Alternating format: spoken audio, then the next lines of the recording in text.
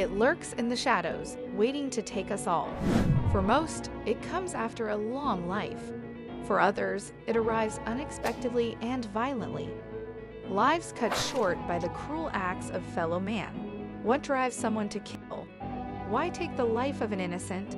These questions haunt those left behind, struggling to make sense of such depravity.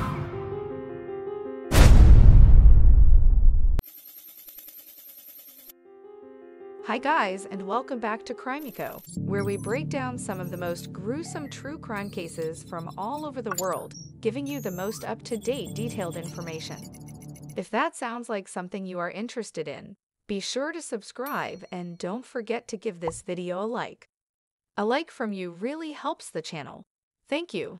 Now let's dive in. Our story begins in a place called Japan, an island country in East Asia, renowned for its rich history, vibrant culture, and technological advancements. The country offers a fascinating blend of tradition and modernity, with ancient temples and serene gardens coexisting alongside towering skyscrapers and bustling city streets. One of Japan's major economic hubs is Osaka, the country's third largest city, Osaka is famous for its modern architecture, lively nightlife, and delicious street food, and is home to a plethora of attractions such as Osaka Castle, Universal Studios Japan, and the vibrant Dotonbori district. Amidst the city's bright lights and bustling streets lies a small village called Sakai, home to over 800,000 people. Located on the edge of Osaka Bay, it is known for its knife production, temples, and ancient burial mounds dotting the landscape. But darkness lurks beneath its serene facade, for within this unassuming village resides a demon who lures the vulnerable by pretending to offer them comfort in their despair.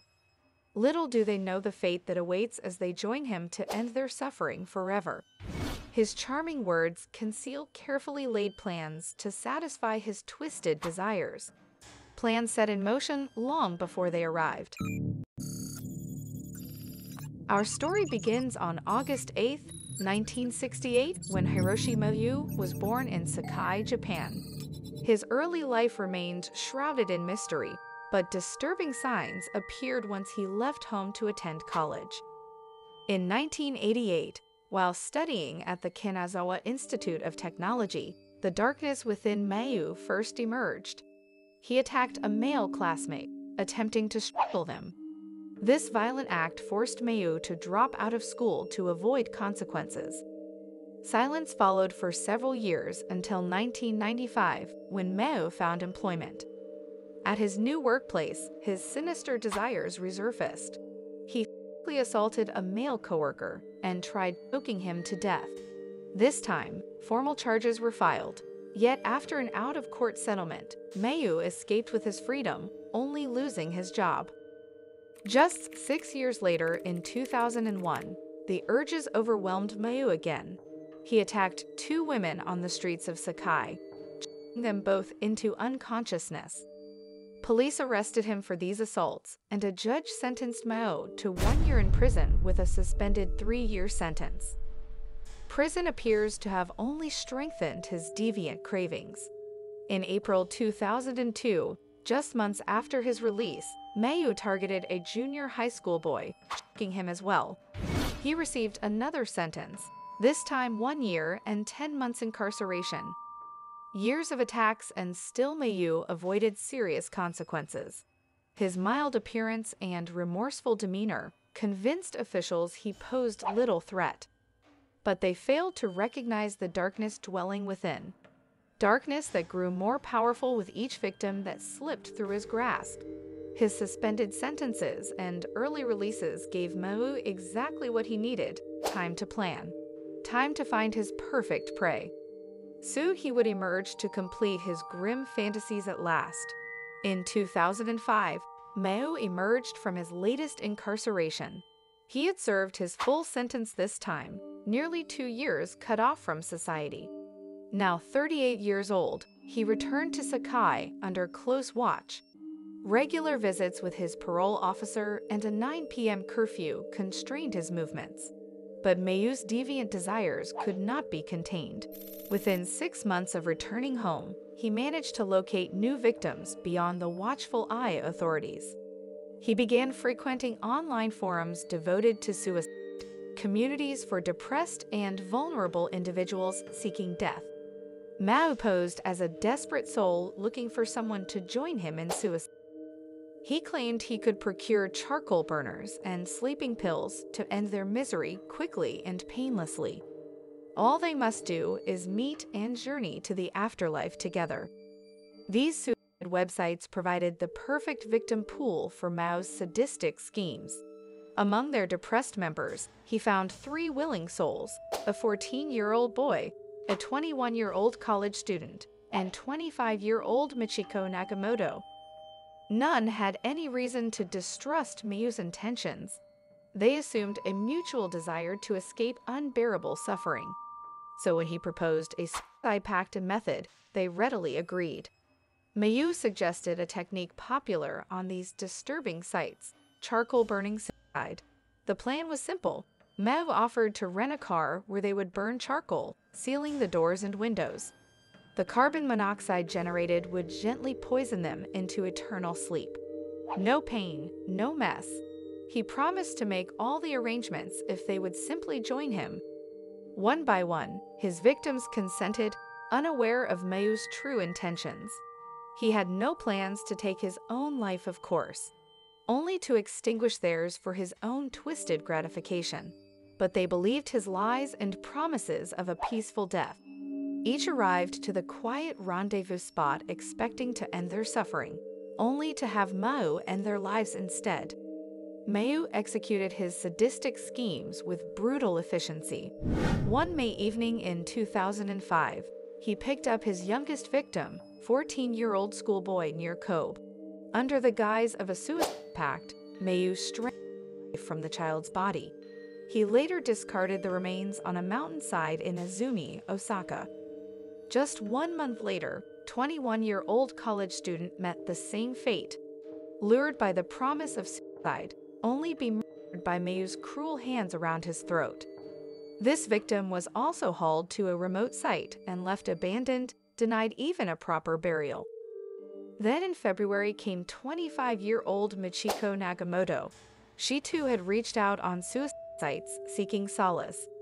Exchanging over 20 messages with Maeue yielded the promise of companionship in death. Upon meeting, he betrayed her trust, ending her life as well by his signature strangulation. Her body was also discarded in the mountains outside town.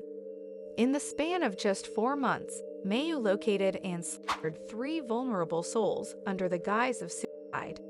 His scheming delivered the perfect victims into his hands. By posing as a fellow tortured soul, he gained their trust and lured them easily to their demise. Mamu later confessed this subterfuge was the only way to act on his twisted desires. These three lives extinguished merely so this monster could find perverse sexual peace through their suffering. Their final moments of terror and desperation fed some deviant hunger within him, a hunger awakened in his youth and never satisfied since. But Maeue's depraved deception could only go on for so long. Just five months after this spree began, his last victim, Michiko, would unexpectedly lead investigators right to him, finally exposing his dreadful schemes. Young Michiko Nagamoto likely assumed she had found a companion as desperate for death's release as she. Their 20 exchanges built enough trust for her to meet Maeue that cold evening in February. But following her murder, Michiko's body was found discarded in the mountains by local police three days later.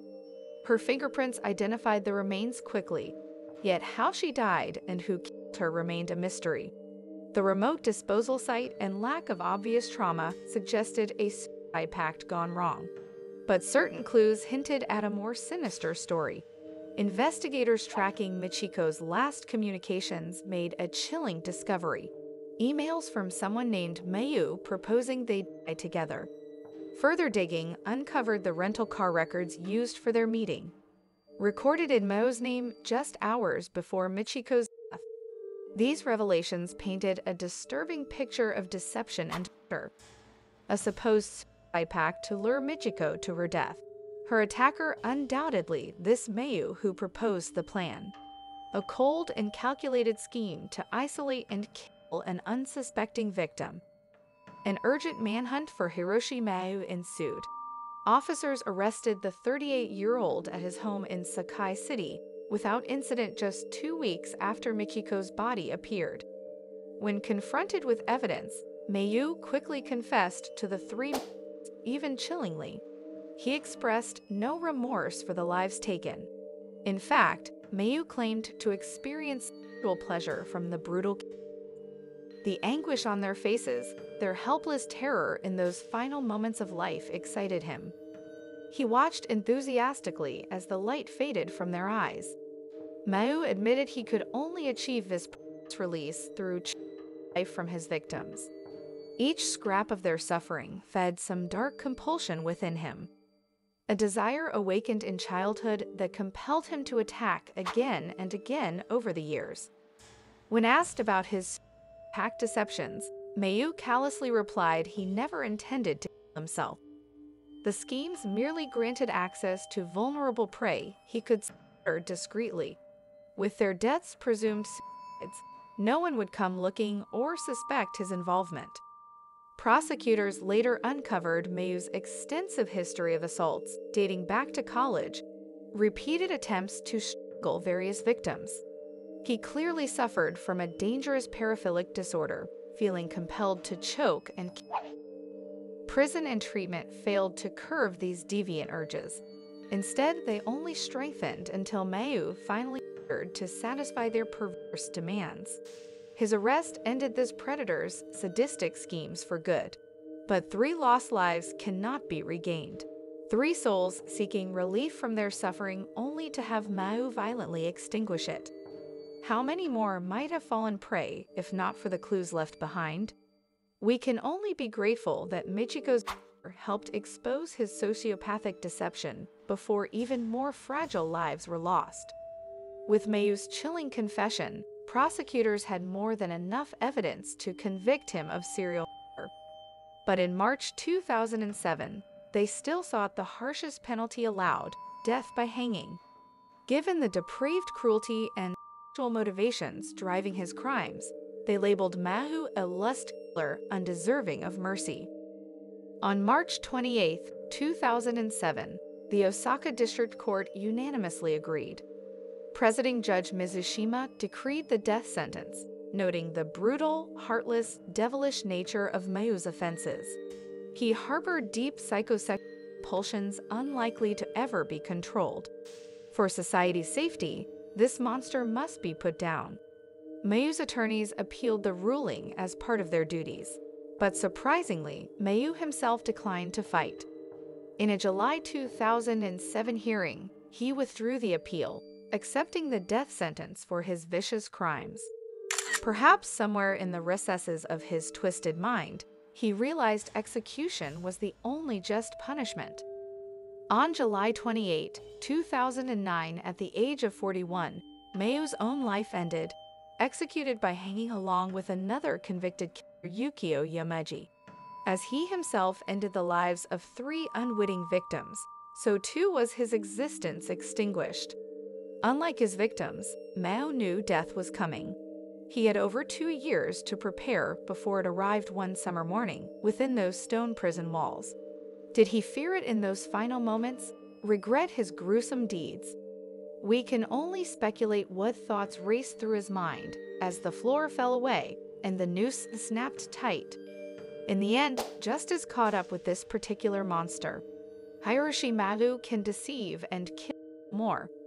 His tragic victims may now rest in peace, but his crimes highlight an unsettling truth even in prosperous, civilized nations like Japan, darkness festers within some souls.